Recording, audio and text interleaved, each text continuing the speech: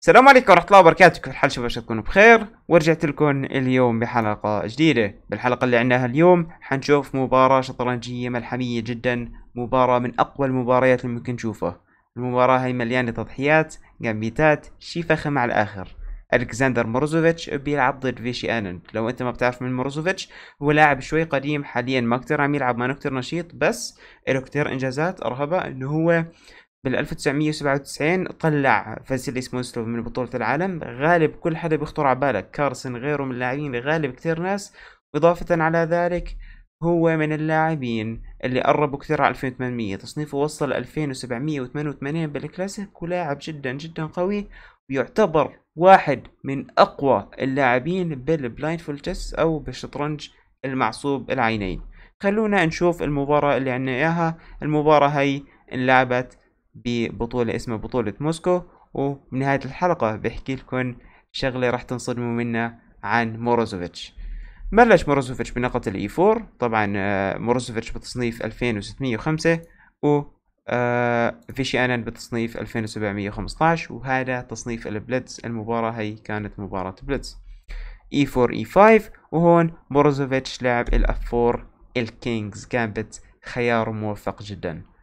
e takes على ال f 4 وهون خيار ما كثير ملعوب هو تاني أكثر خيار لعب من ال King's Gambit اللي هو ال bishop على ال c 4 بتوقع إنه أول واحد لعب هالافتتاح هو الاندرسون واحد بسموه أندرسون اللي جبنا له حلقة قبل كم يوم.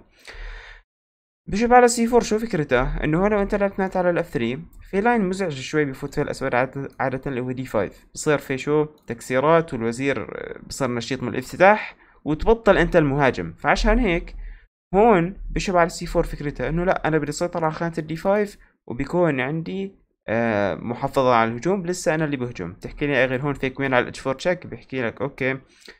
أنا بكل بساطة بزح ملك على f 1 راح أطلع حصان f 3 d 4 c 3 وراح أسترجع الجندي تبعي. ملكي خرب أو خصمي خرب عليه التبيت بس أنا عندي انتشار رهيب جدا بالإضافة إلى الوسط. queen h 4 هي التكملة الرئيسية هون. بس ما لعب queen h 4 لعب knight على ال f 6 انند بهاي المباراة. knight على c 3 حامي جندي ال e 4 لأنه هو كان طالب جندي الاي 4 وسي 6 بده يلعب d 5 هذا الوضع لعب هون bishop على ال b 3 موروزوفيتش لأنه قال لك لو أنا لعبت knight f 3 بيلعب d 5 بيكون طالب فيلي وبدي أسحب فيلي فحكى لك لا خلص أنا بسحب فيلي من البداية وانسى. d 5 e takes d 5 e takes d 5 وبهذا الوضع d 4 كانت نقلة جميلة. بثبت هذا الجندي وبدي أسترجع الجندي تبعي وأكل bishop takes على ال f 4 bishop على ال b 4 رابط الحصان. وبهذا الوضع هل تتوقع أنه bishop takes f 4 هو نقلة منيحة؟ وقف الفيديو وجاوب. bishop takes على f 4 هو نقلة ممكنة بس مشكلتها إنه ممكن خصمي هون يبيت. وأنا بعد ما أطلع knight f 3 بصير بده يكشني من الإيات. فيفضل إنه أنا انتبه على الانتشار أول واجي knight f 3 لأنه الجندي هذا بجيبه ما راح تقدر تحميه.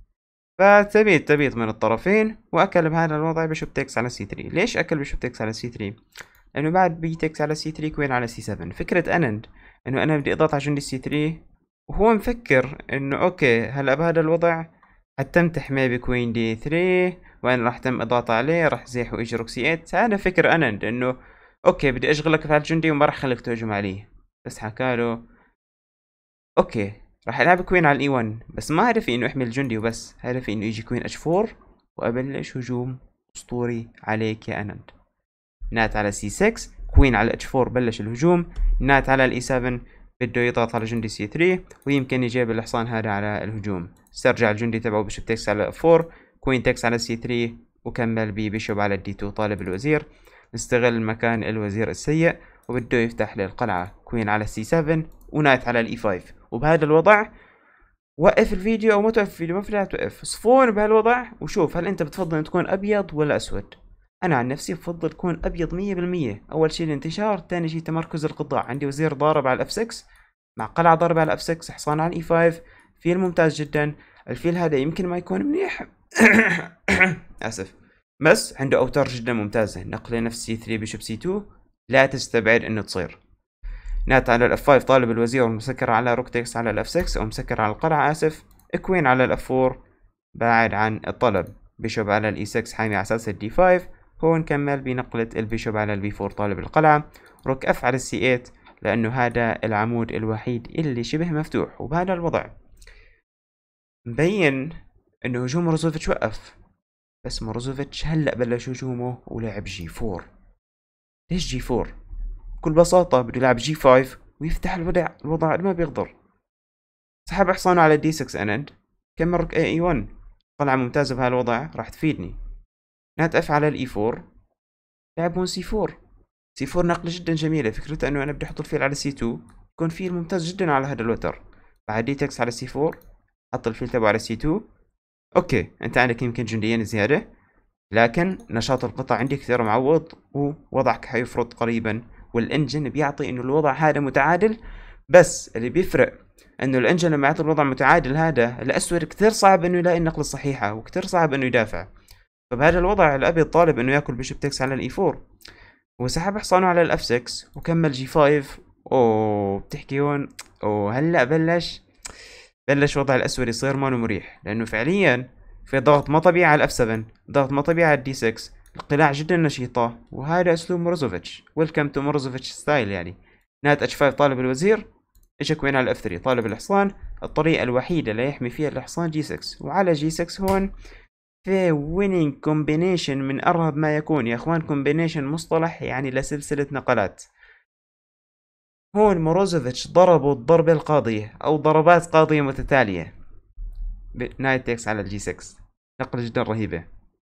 knight takes G 6 فكرته إنه أنا بدي أفتح عمود ال F وأنت هون ما بتقدر تأكل بجندي ال F بدك تأكل بجندي ال H لأنه لو أكلت بجندي ال F بيسقط الفيل.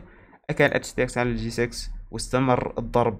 H takes على ال G 6 بعد pawn takes على ال G 6 rook takes على ال E 6 اللي استفادوا مورزوفيتش من كل هاي الخبصة إنه حاليا طالب الحصان طالب ال G 6 بعدين راح آكل على ال H 5 أحكي لي شنو حتمنع كل هاي الطلبات؟ يعني أنا أول شيء هون طالب آكل الحصان okay؟ شو بدك تعمل؟ وحتى لو حميت الحصان هون راح آكل على ال G 6 إجباري تيجي لهون راح آكل الحصان شمات اجا queen على ال F 7 على أساس يكسر. سحب وزيره على ال D 5 طالب الوزير طالب الفيل طالب ال G 6 طالب مليون شغلة. هون أناند فكر حاله ذكي واجا knight على ال F 5 على أساس يحمي الطلبين بس فاجئه بنقلة دمرته. rook takes على F 5 وسلم أنند. ليش سلم؟ لأنه ما عنده أي شيء يعمله. هذا الوضع لو أنت أكلت G 6 وين ما تروح بالوزير النقلة الجاي حتكون double check وغالبا حتكون مات. لو انت بهذا الوضع أكلت بالوزير هل لقيت النقلات الفائزة ولا لا؟ النقلات الفائزة بسيطة جدا. rook takes على ال G 6 double check بعد ما تيجي بالملك تبعك على ال H 7 queen takes نقلاتي الجاي حتكون غالبا check متبوعة ب checkmate أي مكان. game جدا سفاح. موروزوفيتش من اللاعبين الأساطير. اللي أنا ظالمه جدا بالقناة صراحة. أسلوب لعبه جدا جميل. افتتاحاته جدا رهيبة والمعروف عنه بصراحة أنه دائما بيخوف اللاعبين الأساطير. أي حدا بيلعب ضد موروزوفيتش بيحسب له ألف حساب. هاي كانت الحلقة بتمنى تكون عجبتكم. أنا كتير حبيت المباراة وكتير حبيت ال style اللي لعب فيه موروزوفيتش لو عجبتكم هاي الحلقة والمباراة يا ريت توصلوا هالمقطع على 500 like وبكون لكم شاكر جدا. سبحانك اللهم بحمدك أشهد أن لا إله إلا أنت أستغفرك وأتوب إليك. أنا نسيت شغلة يا إخوان إنه أنا قلت لكم في معلومة صارمة عن موروزوفيتش آه موروزوفيتش لعب هاي المباراة تخيل وعمره 17 سنة بس. جدا جميل.